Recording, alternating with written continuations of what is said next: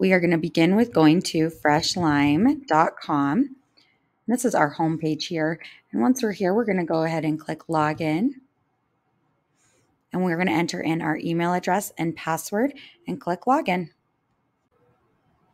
Once you've logged in and accepted the terms and conditions, you'll see this screen here. To find out how to do this on the mobile app, check out some of our other Fresh Start videos.